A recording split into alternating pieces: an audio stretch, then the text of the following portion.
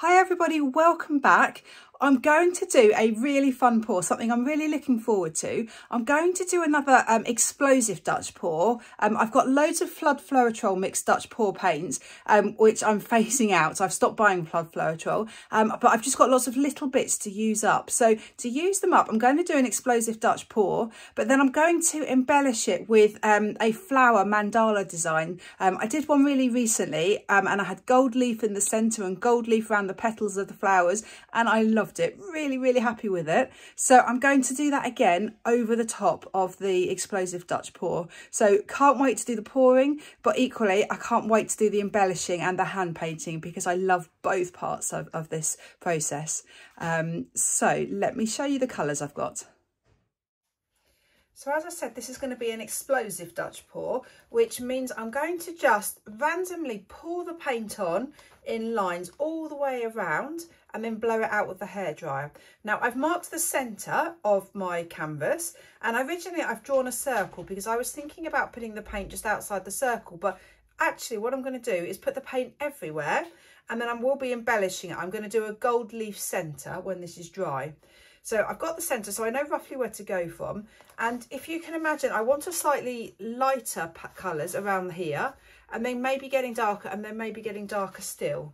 So I've got some lots of leftover colours.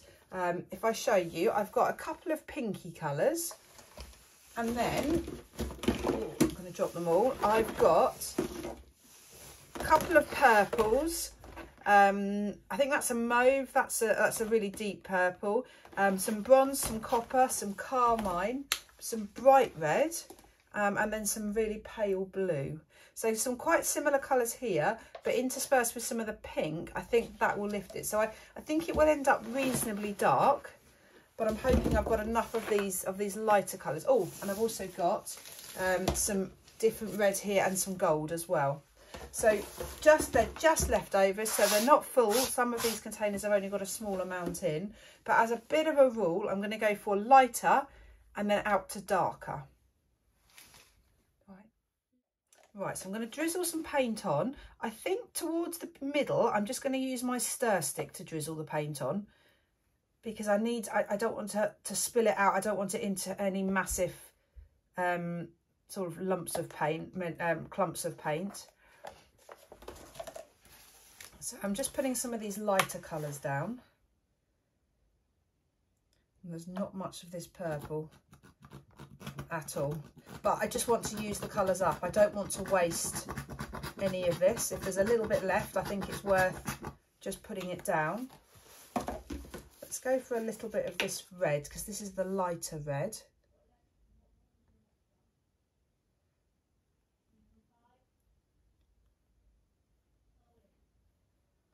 Just extend that out a little bit more.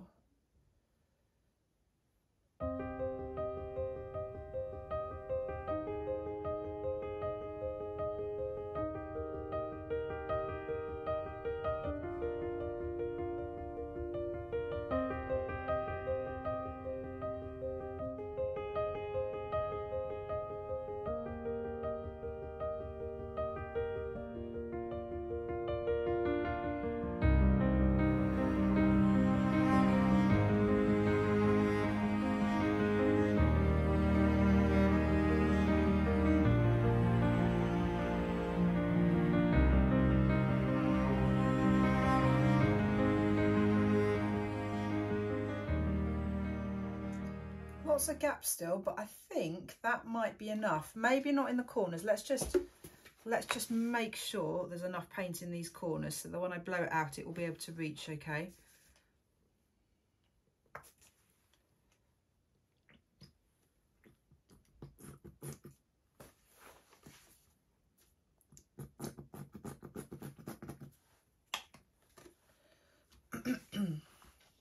Right, my instincts is telling me that is enough. Let's just dab the very centre.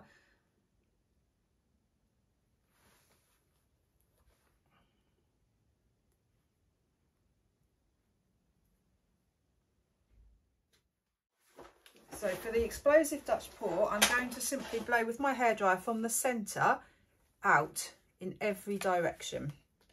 So let's just see what we get.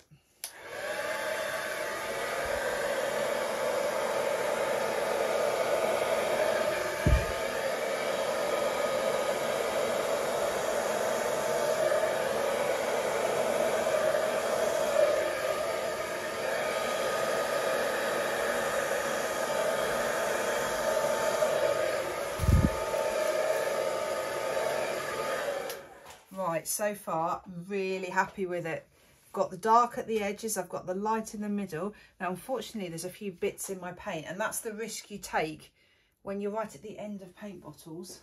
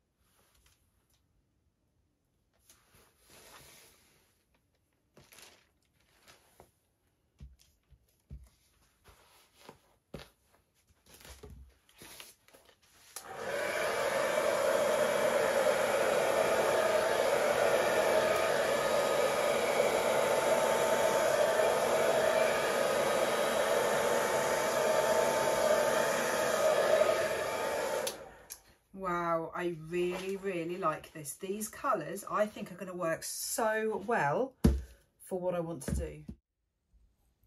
This is absolutely gorgeous. I absolutely love these colours. Love the bits of blue in it. You've got some hints of the purple, pale pink, and then at the edges, these colours are stunning. This old mauve with the metallic colours really really pretty. Um, now there is a problem and that is that one i it must have just been one of them was particularly lumpy because i've got little lumps everywhere in this which is such a shame. Um, but let me show you um, the close-up. Um, yeah just such contrasting colors next to each other but i just love how they blend um, so the lumps are a problem, but I've tried to get a few of them out, but it, it's sort of ruining the design of the painting if I do it too much. Um, the good thing is that I'm going to be embellishing this. I'm going to be sticking the, the um, gold leaf on. I'm going to be doing things. So if this was a painting just on its own like this, I would be gutted right now because of the lumps. Um, but it's not going to be. It's going to be embellished. So um, hopefully that will disguise it or um, draw your eye away from the little lumps. Um, so I'll be back when it's dry.